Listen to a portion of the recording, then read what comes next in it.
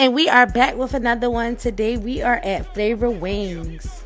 Let's take a moment to check out the aesthetics, the paintings on the wall, how clean it is inside. It was very welcoming.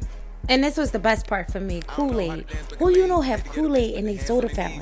Where I'm from, we don't have that. And here is a glimpse of their menu of everything that they sell. The Kool Aid was definitely a 10 out of 10. Somebody, grandma, definitely back there making that Kool Aid. I had bone in with the ooh wee sweet and sticky sauce as well as the sassy garlic parm. Trey had half bone in, half bone out with the ooh wee sauce. Now these boudin egg rolls, one out of ten. They're not like those at all.